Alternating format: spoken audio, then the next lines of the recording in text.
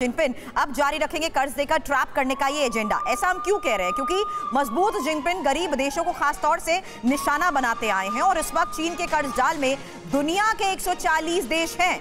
ये बड़ी बात हम आपको बता रहे हैं और नुपुर इस बारे में आपसे मैं चर्चा करूँ, उससे पहले ये समझना भी बहुत ज़रूरी है कि क्या हम ये कहें कि वेस्ट को लेकर, जहाँ अंतर्राष्ट्रीय चुनौतियाँ जिस तरीके से चीन के सामने थी, उसमें खास तौर पर गौर करना बहुत ज़रूरी है कि पश्चिम के साथ एक ट्रेड वॉर चीन की चल रही है। और दूसरा पहलू ये भी कि ये कुछ देशों की मजबूरी थी, जिसके तहत अपनी टर्म्स और कंडीशंस में चीन उन्हें अपने जाल में फंसाने में कामयाब रहा। चर्चा करने से पहले समीर के पास कुछ इनपुट है। समीर। बिल्कुल, और सुरभि, अब हाईटेक ग्राफिक्स के ज़रिए उस खास फहरिस्त पर नज़र डालना भी ज़रूरी है, जो इस वक्त चीन के कर्ज जाल में है। या कह सकते हैं कि मनी ट्रैप में फंसकर वो मुल्क जो तबाह हो रहे हैं, वो कौन कौन से हैं? जिनपिंग का मनी ट्रैप कर्ज जाल में 140 कंट्रीज़ अफ्रीकी महाद्वीप के 40 देश कर्ज के जाल में है। लैटिन अमेरिकी 19 देश, अंदाज़ा लगाइए, किस तरह से चीन ने भारी कर्ज तले इन देशों को दबाने की कोशिश की है। साउथ ईस्ट एशिया के छह देश इसमें शामिल हैं। इसके अलावा यूरोप, सेंट्रल एशिया के 34 कंट्रीज़ का नाम इसमें है, इस फहरिस्त में। इसके अलावा ईस्ट एशिया पैसिफिक के 24 देश और हैं। इसके अलावा मिडिल ईस्ट, नॉर्थ अफ्रीका के भी वो सत्रह देश हमें भूलने नहीं चाहिए, जो कि अब चीनी कर्जे के बोझ तले दबे हुए हैं। और इस पर जिस तरीके से पूरी दुनिया की समीर नज़र रहती है, इसलिए मैं नुपुर से इस बारे में बात करना चाहूँगी। नुपुर, यहाँ मैं हवाला दे रही हूँ उस रिपोर्ट का, जो जापान के रक्षा मंत्रालय की तरफ़ से एक एनुअल रिपोर्ट 2022 में सामने आई थी, जिसमें यह कह दिया गया था कि अपनी हरकतों से चीन बाज नहीं आ रहा। क्यों कहा था? यह कहते हुए कि पूर्व और दक्षिण सागर में वो ज़बरदस्ती ऐसे कदम उठा रहा है, जिसकी वजह से तनाव भी बढ़ता जा रहा है। हाँ जैसे जैसे आप लोगों ने ये प्रोग्राम की शुरुआत की थी कि इनको सिंपिंग को अभी वो क्या चाह रहे हैं वो वो वही कर रहे हैं उनको जो मर्ज़ी exactly. जो मर्ज़ी वही कर रहे हैं वो आज से नहीं कर रहे हैं बहुत बहुत पहले से ही कर रहे हैं।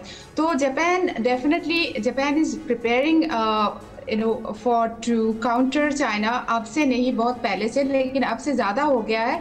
तो हम, मैं जो आप, सुरभि, जो आप बात कर रहे थे कि कर्ज तले बहुत सारे देश चाइना के कर्ज तले आ गए हैं। Definitely that is the problem of the world today and हम बाहर क्यों जाए? हम एशिया में भी, हमारे जो देश हैं, नेपाल देखिए, पाकिस्तान देखिए, सारे अभी उनका भी तो हाल ऐसे ही होने वाला है। हम बाहर अभी वेस्ट में जाने की क्या ज़रूरत है? ये हमारे आसपास के देश का भी तो चाइना ने ऐसा ही बना दिया है।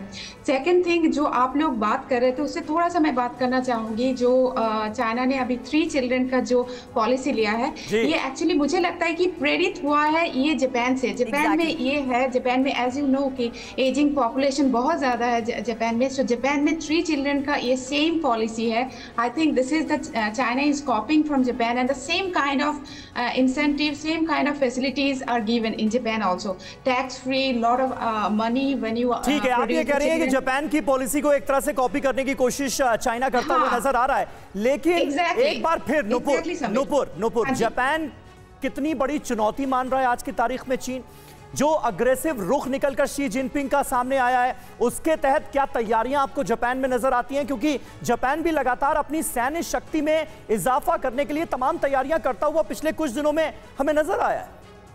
Definitely definitely Japan is not only अभी वो डिपेंडेंट पूरी तरह अमेरिका के ऊपर रहना नहीं चाहते तो वो पूरी तरह अपना जो you know they are preparing themselves for that कि चाइना का वो सामना कर पाए। हम्म। और uh, जैसे आपको पता है कि क्वाड भी बहुत ज़्यादा ये लोग क्वाड के ऊपर भी बहुत ज़्यादा एम्फोसाइज uh, कर रहे हैं। तो मुझे लगता है क्वाड और Japan already internally they are preparing themselves for you know to face China तो exactly. अपना काम अंदर ऑलरेडी कर रहे हैं और समीर एक पॉइंट के साथ यहाँ मैं नुपुर का शुक्रिया करना चाहूँगी क्योंकि न्यूक्लियर थ्रेट बहुत बड़ी बात है और न्यूक्लियर थ्रेट को लेकर रशिया की जिस तरीके से हम चर्चा करते हैं एक पावरफुल लेवल पर चाइना उसके तहत बढ़ने की जो कोशिश कर रहा है उसको लेकर जापान की तरफ़ से भी लगातार तैयारियाँ की गई और हमने हाल के दिनों में इस पर चर्चा भी की। नुपुर आप हमारे साथ जुड़ी उसके लिए बहुत बहुत शुक्रिया आप।